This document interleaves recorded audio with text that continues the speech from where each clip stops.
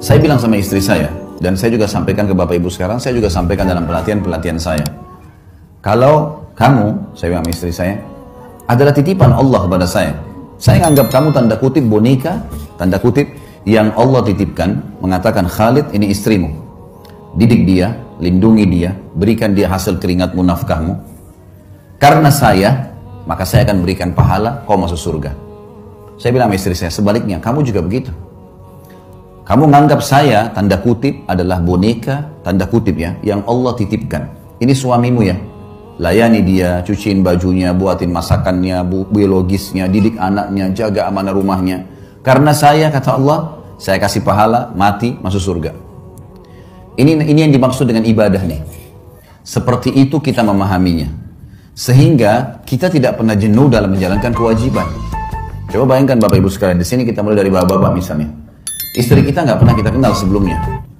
Begitu menikah, kita setengah mati banting tulang di luar sana, nagih utang, jual produk, bangkrut usaha, segala macam. Setelah selesai dapat hasil, kita tinggal kasih kepada istri kita. Dia yang makan, dia yang beli baju, dia yang menikmatinya. Kalau kalau bukan karena niat ibadah, bisa saja seorang laki-laki bilang, siapa perempuan ini enak benar? Hasil keringat saya tiba-tiba langsung diambil saja. Satu sisi. Ibu-ibu juga bisa begitu. Begitu akad nikah, mungkin di rumah ayahnya tidak pernah bekerja. Tiba-tiba menikah, laki-laki yang tidak dikenal, cuciin bajunya, siapin sarapannya, uh, uh, layani biologisnya, segala macam. Hamil anaknya dia, spermanya dia.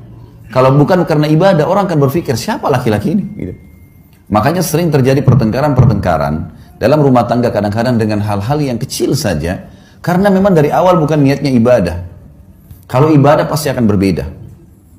Karena kita tahu suka dukanya akan ada, makin berat sesuatu yang kita jalankan, maka kembali kepada hadis Nabi SAW.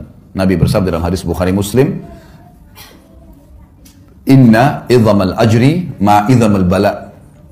Allah akan memberikan balasan yang besar sesuai dengan kadar beban yang sedang diberikan.